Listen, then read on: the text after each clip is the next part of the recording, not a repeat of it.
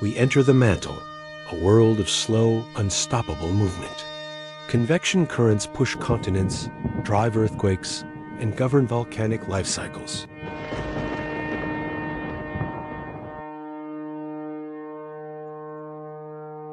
But there's a deeper interaction.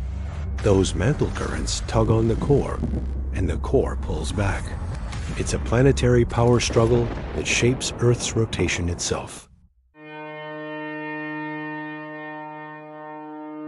Now, rewind the clock 4.5 billion years.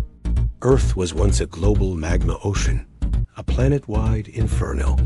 This molten state separated the elements, forming the metallic core that still burns today. So how do we know all this? Through seismic detective work.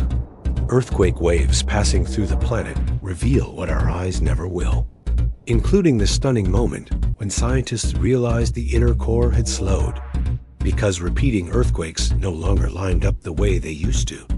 That discovery, published by Song and Richards in 2023, changed everything.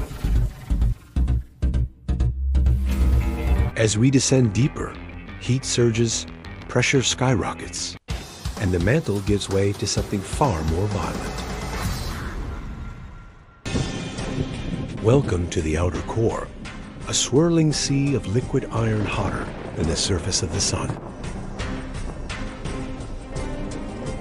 This is the birthplace of Earth's magnetic field, a global force field generated by the geodynamo, the chaotic, churning motion of molten metal.